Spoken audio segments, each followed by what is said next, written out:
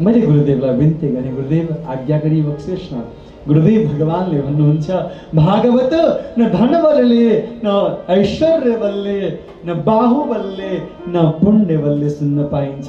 भागवत त मेरो राधा कृष्णको कृपा बलले सुन्न पाइन्छ। जब व्यक्तिमाथि भगवान श्री राधा कृष्णको कृपा हुन्छ उसले भागवत श्रवण गर्ने मौका पाउँछ। बिना श्री राधा सर्वेश्वरको कृपाको कसैले पनि भागवत सुन्ने मौका पाउँदैन अनि यो भागवत हो के कसैले भन्छन् कथा हो अरे कसैले भन्छन् सात दिनमा सुन्ने ग्रन्थ हो अरे कसैले भन्छन् इतिहास हो यो भागवत साक्षात कृष्ण हो? व्यक्तिले आफ्नो योग्यता अनुसारका भगवानका स्वरूप बनाउँछन् कोही कुम्हार होला उसँग संपत्ति नहोला उसले भगवानको माटोको मूर्ति बनाउँछ कोही अलिकति सम्पत्तिवाला होला उसले भगवानको अष्ट धातुको श्री विग्रह बनाउँछ कोही अलिकति पैसावाला होला उसले तामाको मूर्ति पितलको मूर्ति बनाउँछ अझै पैसावालाले चाँदीको मूर्ति बनाउला जोसँग जे सामर्थ्य छ कसैले सुनको भगवानको श्री विग्रह बनाउला। भगवान वेद व्यासजीसँग शब्दहरूको सम्पत्ति थियो ती शब्दहरूलाई सञ्चय गरेर साक्षात शब्दमय श्री विग्रहको निर्माण गर्नुभयो। यो भागवत भगवान श्रीकृष्णको शब्द रूपी श्री विग्रह हो मूर्ति हो। हामीले भन्छौँ नि माटोको मूर्ति ढुङ्गाको मूर्ति भगवानको स्वरूप श्री विग्रह त्यस्तै भागवत भगवानको शब्द पुँज वेद व्यासजीले आफ्ना शब्द पुँजीबाट बनाएको साक्षात भगवान कृष्णको दिव्य विग्रह हो भागवत।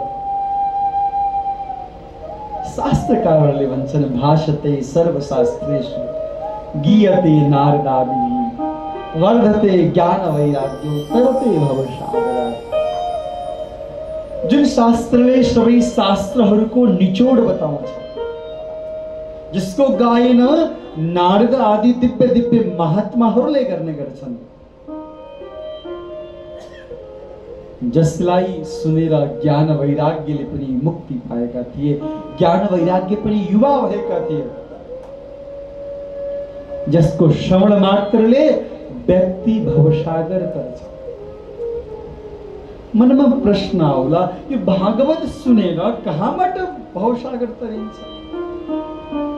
शास्त्रले भन्छ भागवत सुन्यो भने मोक्ष मिल्छ। मोक्ष त मिल्छ नै।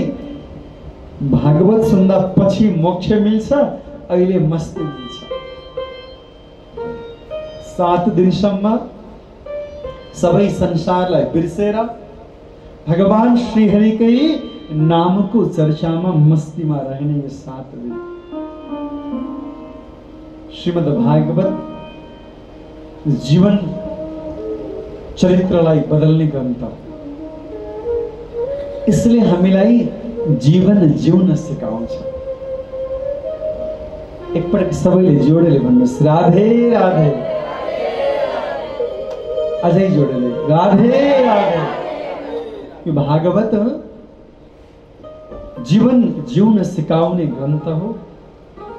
यसले हामी कसरी बाँच्ने कसरी जिउने भनेर सिकाउँछ तर मनमा कति प्रश्न पनि त होला त्यो भागवत आखिर कति पटक सुन्ने सुनेको सुनै? कहिले काठमाडौँमा कहिले वृन्दावनमा कहिले भरतपुरमा कतै सुन्ने? त्यो पटक पटक सुनेर के फाइदा एक पटक सुन्ने भइहाल्यो कहीँ एक ठाउँमा सुनियो भागवत सात दिन पुरा भयो तर पटक पटक किन सुन्ने। एउटा साधारण शैलीमा भन्दाखेरि यो भागवत भनेको सर्भिस सेन्टर जस्तो हामी जान्छौँ नि गाडीको सर्भिस सेन्टरमा पाँच सात महिना भएपछि अब गाडीको सर्भिस गर्नुपर्छ भनेर यसले यसले मन अनि चित्तको सर्भिस गर्छ। मन अनि चित्तमा रहेका क्लेशहरू विकारहरू द्वेषहरूलाई गरिदिन्छ हामी गाडी पाँच सात महिना चलाएपछि दस हजार किलोमिटर चलाएपछि अनि सर्भिस सेन्टर लान्छौँ ओइल चेन्ज गर्छौँ ओइल फिल्टर चेन्ज गर्छौँ है सफाइ गर्छौँ त्यसको त्यस्तै चाहिँ यो चित्तमा रहेका विकारहरूलाई हटाएर कृष्ण रसले चित्तलाई लबालब भर्नको लागि भागवत सुन्न आवश्यक छ अनि सत्सङ्ग किन सुन्ने पटक पटक एक पटक कबीरदास जी महाराज कहाँ एकजना शिष्य गएछ कबीरदास जी महाराज आफ्नो गर्दै गुरुदेव मनमा एउटा प्रश्न छ। कबीरदासजीले भन्नुभयो बाबु भन त के प्रश्न हो? गुरुदेव त्यो हजुरले मलाई दैनिक पटक पटक सत्सङ्गमा जा भन्नुहुन्छ। म कतै पटक जाने? सत्सङ्ग सुनाउने महात्मा तिनै हुन्। सत्सङ्ग सुन्ने कुरा प्राय जसो एउटै हुन्छ तर म पटक पटक किन जाने? बालकले प्रश्न गरे। कबीरदासजी के बोल्नु भएन? कबीरदासजी सेवा गर्दै हुनुहुन्थ्यो। छेउमा काठको मन्दिर थियो। त्यो मन्दिरमा महाराज ठुलो काठको खम्बा थियो। छेउमा एउटा काँटी रहेछ हतौडा रहेछ।